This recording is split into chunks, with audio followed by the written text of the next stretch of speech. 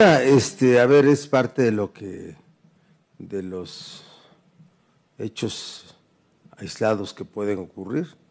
Ojalá podamos ubicar al Oxo donde pasó esto para que gente de gobierno, de DEPRIS, se lo ubiquen y vayan a ese lugar y expliquen que ya no es posible eso que hicieron.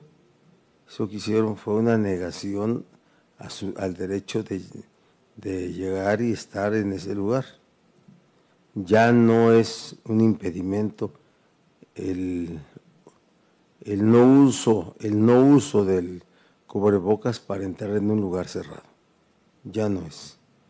Así es, quien lo, quien lo quiere imponer está violando la ley.